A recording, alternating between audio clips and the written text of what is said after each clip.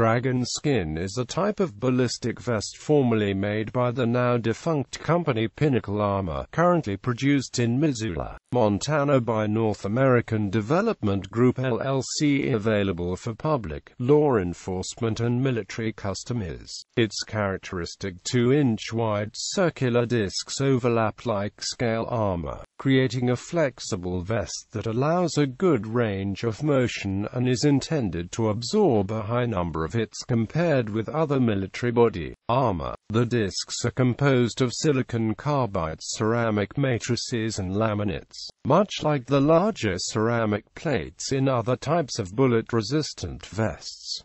The armor is currently available in one basic protection level, Dragon Skin Extreme, which until 2007 was certified to comply with the NIJ standard 0101.06 as a level 3 resistant body armor. Dragon Skin has been worn by some civilian contractors in Iraq, some special operations forces in Iraq and Afghanistan, some SWAT teams, nine generals in Afghanistan, bodyguards tasked with protecting generals, and you. S. Secret Service personnel. The Central Intelligence Agency has also purchased Dragon Skin structure. Dragon skin armor is made of an overlapping series of high tensile strength ceramic discs encased in a glass fiber textile. Different layout configurations with variations in coverage are available. Dragon Skin Extreme is made of overlapping approximately 0.25 inch times 2 inch ceramic discs encased in a fabric cover. In evaluating the Dragon Skin system, it is important to note that, while the external measurements of the Dragon Skin panel are 11.5 inches times 13.5 inches, the area of level 3 coverage provided by the encased ceramic discs is 10 inches times 12 inches. The fabric edges are not intended to provide ballistic protection weight of the Dragon Skin Extreme armor providing 10 inches times 12 inches of level 3 protection was approximately 6.4 pounds. Testing. Television. In a test for the History Channel's military show, Mail Call, the vest repelled nine rounds of steel core ammunition from an AK-47 full automatic and 35 rounds of 9 x 19 mm from a Heckler & Amp Koch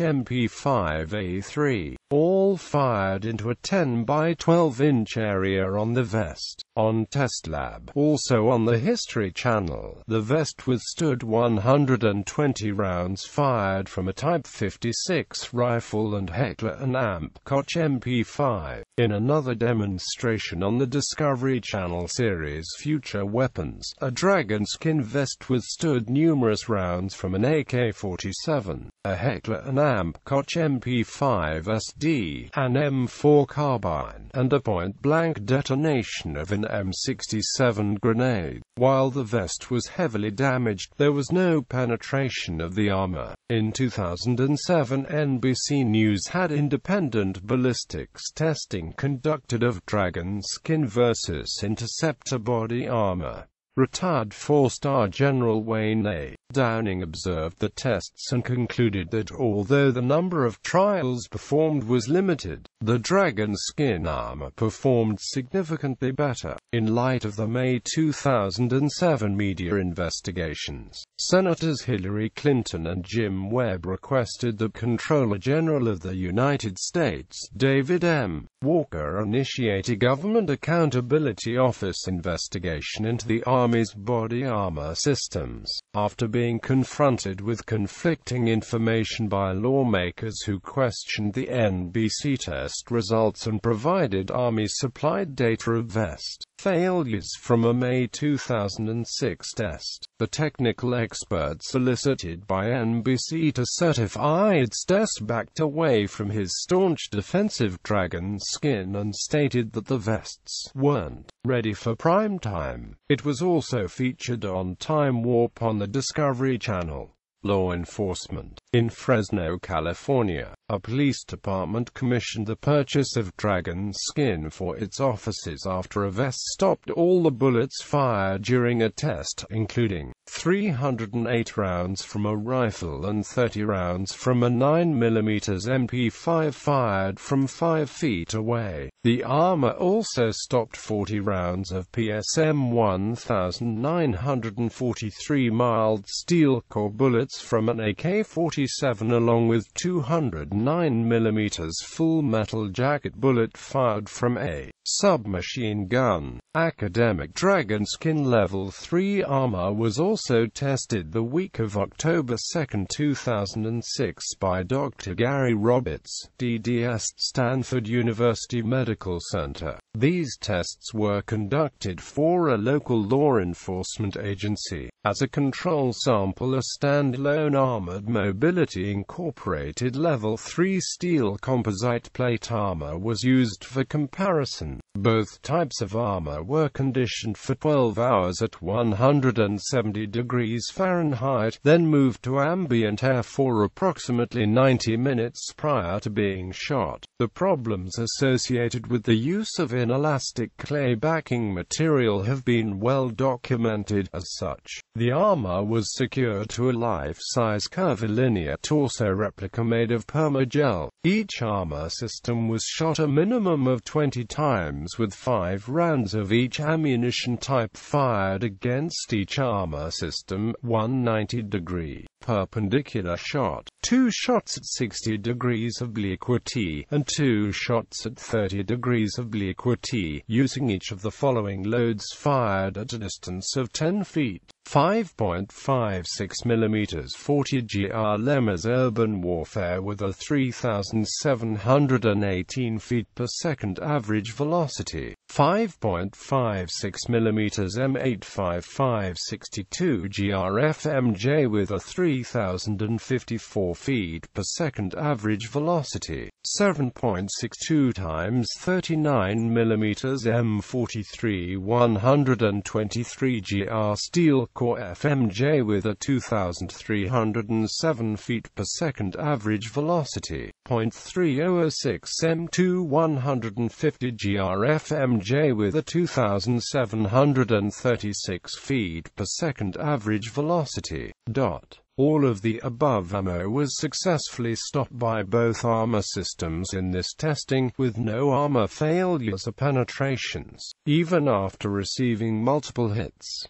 Military testing dragon skin became the subject of controversy with the U.S. Army over testing it against its interceptor body armor. The Army claimed Pinnacle's body armor was not proven to be effective. In test runs for the Air Force there were multiple failures to meet the claimed level of protection. This coupled with poor quality control and accusations of fraudulent claims of official NIJ rating which Pinnacle had not actually obtained at the time of purchase led to the termination of the USAF contract. Pinnacle attempted to appeal this decision, but courts found in favor of the USAF. On April 26, 2006 Pinnacle Armor issued a press release to address these claims and a product recall instigated by the United States Navy. The company stated that although vests were returned due to a manufacturing issue, a test on the Dragon Skin Level 3 armor was conducted by the United States Air Force Office of Special Investigations at a U.S. Army Aberdeen Test Center in Aberdeen, Maryland in February 2006, which concluded that it did not fail any written contract specifications set forth by the Air Force, which was further stated by Pinnacle Armor to require high ballistic performance due to the hostile environments in which AFOSI operates. Weapon Review website Defense Review also published an article similarly dissenting, noting that in the test and review of the dragon skin armor, they had found that it was significantly superior in every combat-relevant way to U.S. Army PEO soldiers and U. Army Natick Soldier Center, Soldier Systems Center's interceptor body armor. The Pentagon stated that the test results were classified and neither side could agree to terms on another, more comprehensive test. The Army wanted to hold and inspect the vests for one to two weeks before shooting at them, and Pinnacle wanted them shot at right away from out of the box because they said they feared the Army tampering with them in order to save their currently cheaper body armor program. On May 19, 2006 it was announced that the dispute had been resolved and the vests were going to be retested again by the Army to clear the dispute. On May 20, 2006 it was announced by the Washington Post in an article titled Potential Advance in Body Armor Fails Tests that the Dragon Skin vests had failed the retest according to their anonymous source. Official results of these tests were classified at the time but have since been released by the Army. On June 6, 2006 in comments posted on an online discussion forum, Carl Masters, Director of Engineering for Program Manager, Soldier Equipment, said he recently supervised the retest and commented on it. I was recently tasked by the Army to conduct the test of the 30 Dragon Skin SOV 3000 Level 4 body armor purchased for TNAMP E. Masters wrote, My day job as acting product manager for Interceptor body armor. I'm under a gag order until the test results make it up the chain. I will, however, offer an enlightened and informed recommendation to anyone considering purchasing an SOV 3000 Dragon Skin. Don't. I do not recommend this design for use in an AOR with a 7.62 times 54 hour upthreat and an ambient temperature that could range to 49 degrees Celsius. I do, however, highly recommend this system for use by insurgents. In response to these claims, Pinnacle Armor released a press release on June 30, 2006.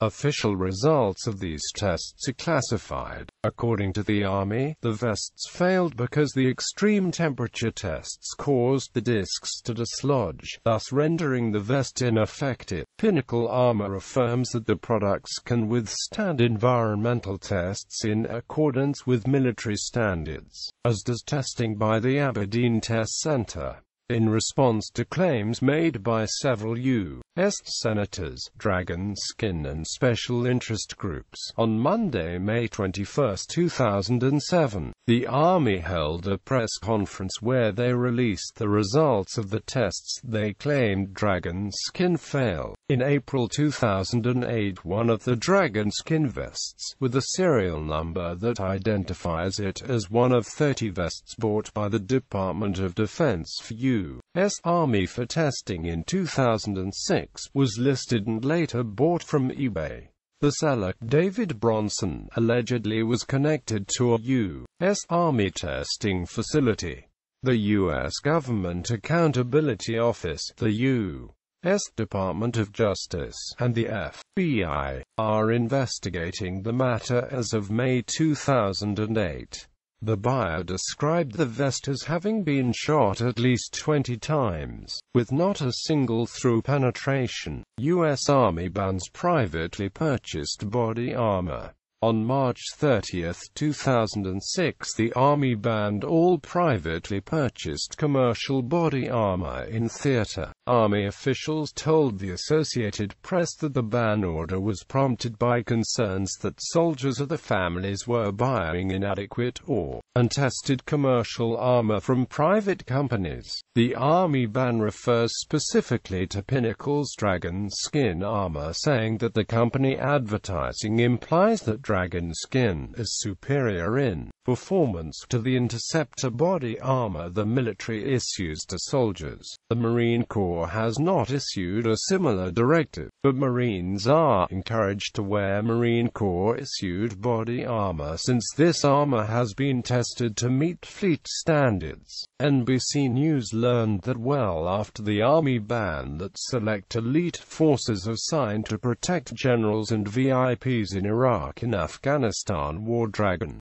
skin General Peter W. Chiarelli made a statement that he never wore dragon skin but that some members of his staff did wear a lighter version of the band armor on certain limited occasions. Despite the Army ban, Chris Kyle stated in his book American Sniper that he wore dragon skin body armor after his third deployment which he received from his wife's parents as a gift certification and subsequent decertification. In an interview with KSEE 24 News, an NBC affiliate, on November 14, 2006 and November 16, 2006, Pinnacle Armor detailed the five-year process that the NIJ and Pinnacle Armor went through to establish a test protocol and procedure for flexible, rifle-defeating armor, and then pass it for the certification. On December 20, 2006, Pinnacle Armor said that they received the official letter from the National Institute of Justice that they had passed the Level 3 tests, and the Dragon Skin SOV 2000 was now certified for Level 3 protection. The Air Force, which ordered the Dragon Skin vests partially based on claims it was NIJ certified at a time when it was not, has opened a criminal investigation into the firm Pinnacle Armor over allegations that it had fraudulently placed a label on the dragon skin armor improperly stating that it had been certified to a ballistic level it had not yet been. Murray Neal, the Pinnacle Armor chief executive, claimed that he was given verbal authorization by the NIJ to label the vests although he did not have written authorization. On August 3, 2007, the Department of Justice announced that the NIJ had reviewed evidence provided by the body armor manufacturer and has determined that the evidence is insufficient to demonstrate that the body armor model will maintain its ballistic performance over its six-year declared warranty period period. Because of this, Dragon Skin has been found not in compliance with the NIJ's testing program and has been removed from the NIJ's list of bullet-resistant body armor models that satisfy its requirements. Pinnacle CEO Murray Neal responded that this move was unprecedented, political, and not about the quality of the vests because they are not saying they have failed any ballistics. He says it is about a dispute with the paperwork to deal with a warranty issue instead, in which the warranty period of Dragon Skin is longer than that of most other commercial vests. After passing tests at United States Test Laboratory, on August 20, 2007, at the United States Test Laboratory in Wichita, Kansas, nine Dragon Skin SOV 2000 body armor panels were retested, for the purpose of validating Pinnacle Armor's six-year warranty.